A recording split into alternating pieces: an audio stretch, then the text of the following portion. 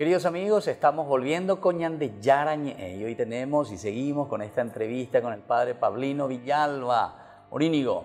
Entonces viene a visitarnos, nos ha contado un poco de su historia, sobre todo de esto que le apasiona a él, que es el escribir, reflexionar, pensar y sobre todo poner también frente a nosotros este aspecto bien antropológico existencial a un nivel religioso tan lindo. Y aquí tenemos este, la pelota en la cancha del pensamiento. Y ahora yo quisiera escucharte un poco, ahí, Pablino, que nos cuente un poco. Nosotros cuando ella es fanático, ¿sí? guaraní, fanático, y está perdiendo guaraní, ah, vaya, vaya, eh, Dios, Dios, Dios, por favor, influencia un poquitito, todo ganar a ese equipo. Un día existir, porque la gente que muchas veces, venía de ya, tu panoi. ¿Cómo, ¿Cómo tenemos que entender estas cosas, ahí? Bueno, y justamente en el ítem 16 del libro desarrollo esa cuestión, esa pregunta que siempre uno hace. ¿Puede influenciar Dios en el desarrollo de un partido?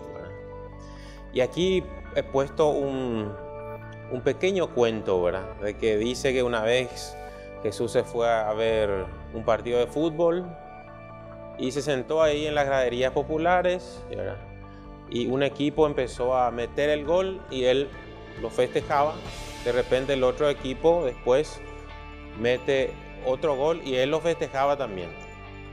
Y los que estaban al lado empezaron a decirle, eh, tú, ¿qué, ¿qué, estás haciendo? ¿Con qué equipo al final estás, verdad? Y, él, y Jesús sale y dice, con ninguno, ¿verdad? Lo que a mí me gusta es el fútbol, ¿verdad? Entonces, para ilustrar también, ¿verdad? Claro, claro, claro, La, es ese o valor. Pea, o que la otro. claro, claro. Qué calidad. Que Dios también está con nosotros en todos los momentos, ¿verdad? Claro, claro. Eh, Dios no está ajeno, ¿verdad? A ninguna cosa que el hombre haga. Eh, está con el hombre en los momentos difíciles, en los momentos alegres. incluso, ¿verdad? Jesús están, estuvo en la boda de Caná, ¿verdad? Entonces, vemos un Jesús que compartía con todas las personas en todos los momentos, ¿verdad? Y a veces uno quiere sacar a Dios, ¿verdad? De, un contexto así deportivo, festivo, no. De, queremos dejarle a Dios solamente en el templo. Pero Dios está en todos los momentos, en todas las circunstancias con el hombre. Y también el deporte es una actividad humana, entonces Dios también está presente ahí. Pero ahora la pregunta es, ¿en qué sentido y cuál es la relevancia de la oración, ¿verdad? Eh, ¿Por qué un, el hincha de un equipo, la hinchada de un equipo empieza a rezar, la hinchada de otro equipo empieza a rezar, ¿verdad? Y ahí, ¿dónde está Dios, verdad? ¿Quién le va a escuchar más, verdad? Claro, claro. Porque si es por número, bueno, Brasil tiene que ganar siempre todos los campeonatos, ¿verdad? Porque millones y millones de creyentes que están rezando cuando juega, ¿verdad? Claro. Pero ahí eh, vemos, ¿verdad? Y me pareció interesante remarcar algo muy importante dentro de la teología católica, que es una frase, una idea de Santo Tomás de Aquino, sí. que la gracia presupone la naturaleza. Claro. De no llamamos. Claro. es como que a, como, como la famosa frase, a Dios rogando y con el pie chutando, ¿verdad? claro. Medio así, ¿verdad? claro, eh, claro, claro. ¿En qué sentido ayuda, ¿verdad? La parte espiritual en la vida de, de un jugador, de un atleta, ¿verdad? En el sentido de que Dios, a través de la oración, te puede dar fuerza espiritual, ¿verdad? Claro, Protección, ¿verdad? Por eso es importante ¿verdad? ver a los jugadores que se persignan, que hacen un nombre del Padre antes de entrar en la cancha, que rezan, ¿verdad? No es que Dios va a hacer inclinarse la balanza por un equipo ¿verdad? o por otro, claro. sino que Dios ya le nos ha dado las capacidades necesarias, ¿verdad? las capacidades humanas, los talentos, ¿verdad? Y en, definitiva al final, ¿verdad? El que gane el mejor, ¿verdad? Pero el elemento espiritual en que ayuda, como he dicho, en darle al jugador esa fuerza espiritual, esa paz interior que armonice ¿verdad? lo físico con lo psíquico y que también le proteja de todo incidente o accidente ¿verdad? no grato durante el transcurso del partido. Claro. Entonces, e, e, es, en ese nivel está ese, el, es el aporte ¿verdad? De que puede dar la religiosidad en el transcurso de un partido. ¿verdad? Claro. Pero es como he dicho en el pequeño cuento que conté, ¿verdad? Sí, sí, sí, sí. Que Jesús ahí ah, está disfrutando, disfrutando con los que ganan y consolando a los que pierden, ¿verdad? Porque Él está con todo, ¿verdad? Claro. No solamente con los que ganan, ¿verdad? Claro, claro. Pero eso me hace acordar también, pa- y, pero ese es de cachique. Eh. Cachique hoy, ahí, o sabe, o jugar, que o ya jugado, dispara, o apaiga, ¿verdad? Y después, voy, cachique, la de partido 0 a 0, 0 a 0. Después una hora, oye, voy, cachique, 0 a 0, 0 a 0, dos horas, 0 a 0. Además, es bien pena, 0 a 0. Ahora, con ahora arco y voy. o sea, además, esto es la jugada, disparate, que Octavio la jugó. Claro, claro, claro. Bueno, otra cosa, aquí visto en, un- en una partecita cuando vos hablas también de Jesús y el fútbol. Sí. Jesús ya habla algo de los discípulos, de los amigos de Jesús. Va, veo, vea, Jesús y el fútbol. ahí. Y en ese ítem, más bien lo que he realizado fue, es un paralelismo, una analogía, ¿verdad? Porque Jesús formó también su equipo, ¿verdad? Claro. Sus doce apóstoles. Después de rezar toda una noche al, al día siguiente, como cuenta uno de los evangelios, elige, ¿verdad? A uno de, a, 12, de entre muchos discípulos que tenía, elige a A la 12. selección a 12, ¿verdad? de muchos. Solamente hay diferencia que el fútbol, eh, 11, ¿verdad? En realidad Jesús eligió a 12, ¿verdad? Pero Suplete entero. como es también escrito en el libro, ¿verdad? Que Judas eh, Ah. metió gol en contra y le dieron tarjeta roja, ¿verdad? Entonces, yo lo que hice en ese punto, en ese apartado, es analizar el tema del liderazgo que tuvo Jesús, ¿verdad? Con ese grupo de apóstoles. Y es un liderazgo positivo que se puede implementar en todos los niveles y principalmente también en, en el nivel deportivo, ¿verdad? En, en el ámbito del técnico, de los jugadores, ¿verdad? Sí. ¿Qué debe, ¿Cómo debe ser el líder? ¿Cómo debe ser eh, un técnico, ¿verdad? Eh, y, ¿Y qué era lo que hacía Jesús? Jesús combinaba, ¿verdad? La autoridad con la amistad, ¿verdad? Claro.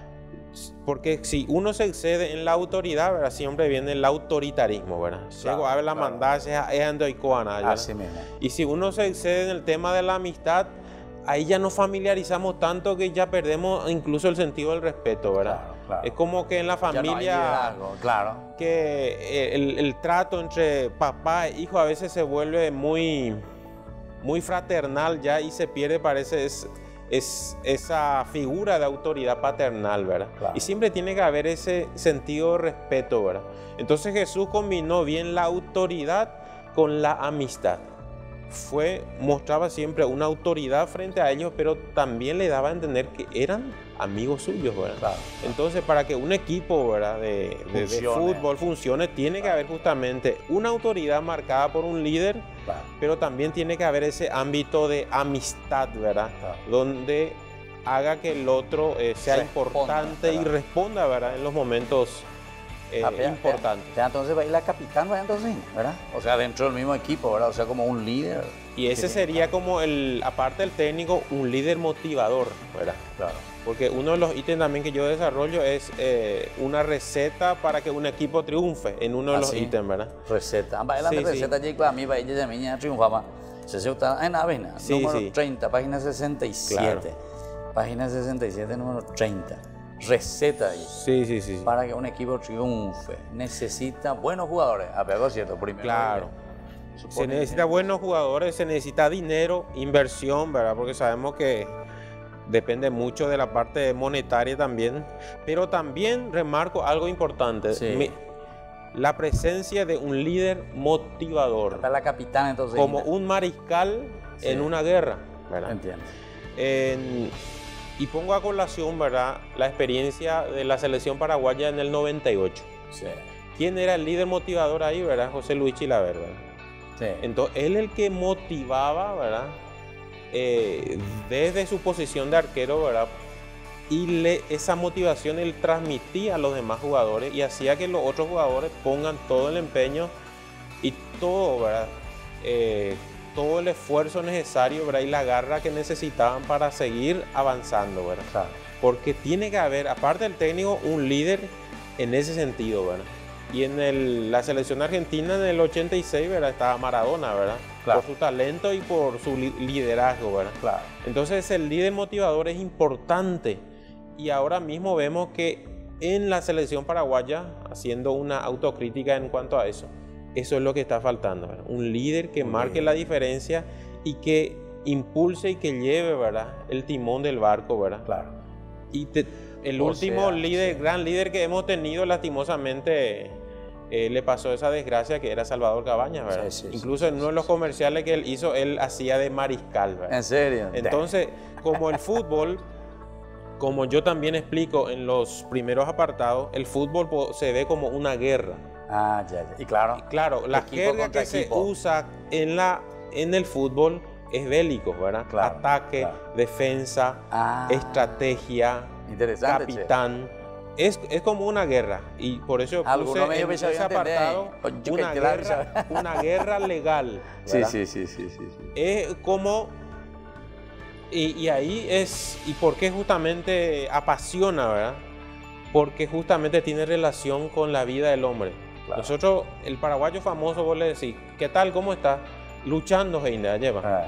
Entonces la lucha es, fundamental en la vida del hombre, porque desde que nacemos tenemos que luchar, ¿verdad? Claro, luchar para no dejarnos vencer por las enfermedades, por las dificultades, por los problemas. Y ahí también remarco un filósofo muy importante griego presocrático, Heráclito. Y Heráclito decía que la guerra es la madre de todas las cosas. De todo el movimiento. Entonces, ¿Por qué justamente nos gusta tanto el fútbol? Porque refleja nuestra lucha, refleja nuestras batallas interiores, ¿verdad? Que en, esos jugadores yo me veo reflejado. Y cuando mete un gol es un triunfo también para mí porque es una victoria que hace que yo vaya superando esos obstáculos que se van presentando en mi vida. Muy bien, vamos a seguir entonces hablando aquí con el Pai Pablino. Ahora vamos concluyendo por el día de hoy, pero vamos a continuar esto porque es muy interesante y esto último, por ejemplo, ¿eh? la lucha, el batallar, ¿eh? el fútbol, entonces significa también eso. Volvemos enseguida con más Ñande Yarañe.